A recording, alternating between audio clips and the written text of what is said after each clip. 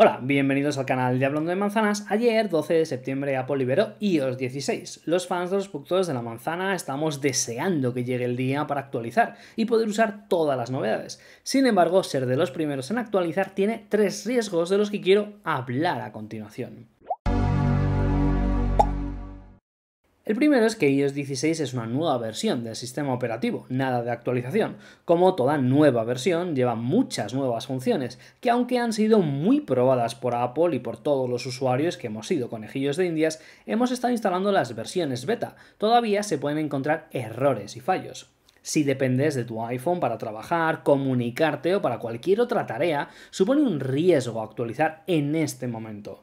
Lo más probable es que no te vaya a pasar nada, eso sí, pero siempre existe la posibilidad de que te toque a ti un error que te provoque tener que restaurar el iPhone y estés buena parte del día acordándote de mis palabras. Mi recomendación es dejar pasar unos días, ver cómo se comporta iOS 16 en los dispositivos de los usuarios que no han querido esperar. Si no lees noticias que podremos entonces, sea un buen momento para actualizar quizás en una semana.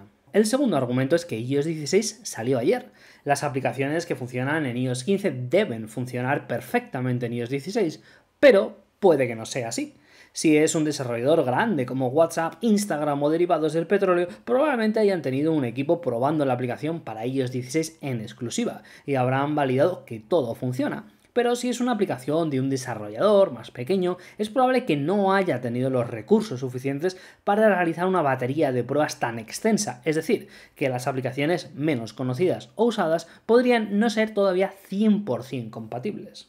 Por último, hablemos de los iPhone más antiguos. Todos hemos oído eso de que al actualizar mi iPhone a la versión más nueva me va más lento, y es normal.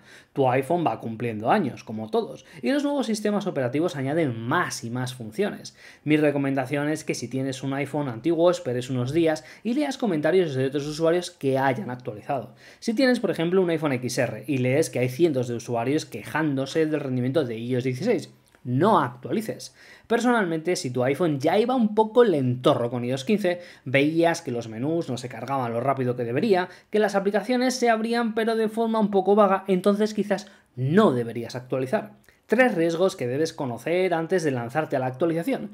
En mi caso he actualizado mi iPhone 12 Pro con infinidad de problemas y por el momento todo va como la seda. Escribe qué tienes pensado hacer y qué iPhone tienes en los comentarios del vídeo. Si el vídeo os ha gustado y os ha resultado útil, pulsar la manita arriba para el like, dejar vuestra opinión en los comentarios, suscribiros al canal y activar las notificaciones para estar atentos a todos los vídeos publicados. Y recordar que nos podéis seguir en la página web hablando de manzanas.com y en las principales redes sociales. Muchas gracias por vernos y hasta el próximo vídeo.